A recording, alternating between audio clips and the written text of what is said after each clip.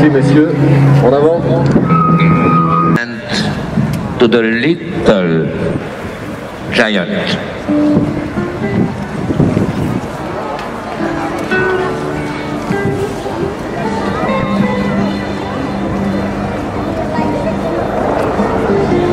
My dearest daughter,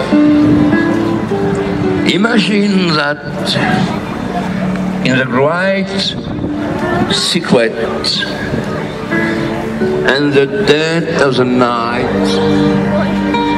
I embarked on board of the Titanic.